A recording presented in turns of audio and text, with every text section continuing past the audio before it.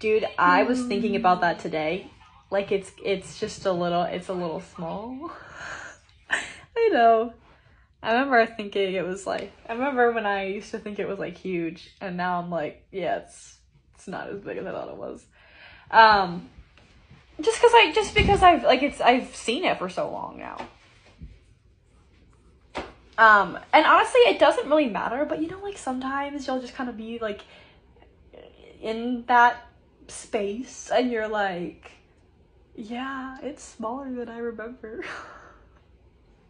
Especially when you're like, bro, like I there's like like not, it's basically just not even there.